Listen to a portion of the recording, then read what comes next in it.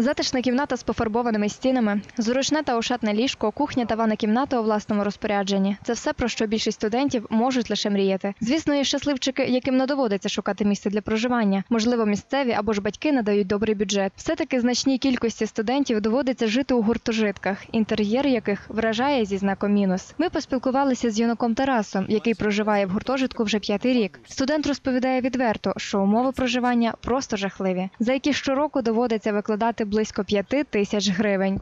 Тут санітарні умови дуже смішні, тому що на майже на весь гуртожиток два душі працюючих, без гарячої води. Так що тут оце всі умови. Одна виходить одна плитка на блок, тобто в блоці живе десь порядка 30 людей і дві камфорки на 30 людей.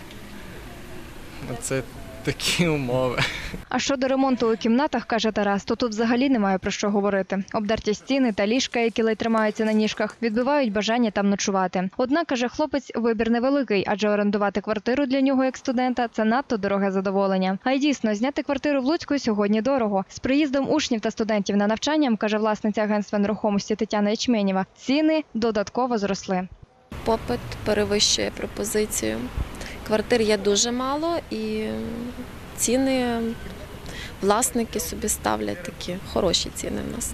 Е, Студенти в основному живуть групами. Вони знімають трьохкімнатну квартиру, і є такі, що е, кімната, кожен собі по кімнаті, а є, що по двоє, по троє в кімнаті живуть.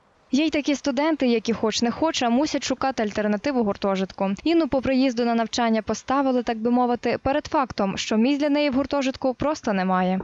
Е, Декан, коли я прийшла поступати в університет, він сказав, що гуртожитки переповнені, і ти у мене вже 13 на одне місце. І я зробила висновки, що е, краще все-таки піти жити на квартиру. Е, Зараз я плачу так само 850 гривень, але плюс е, з комунальними. Зараз я живу з трьома дівчатами, ми комунальні ділимо на трьох.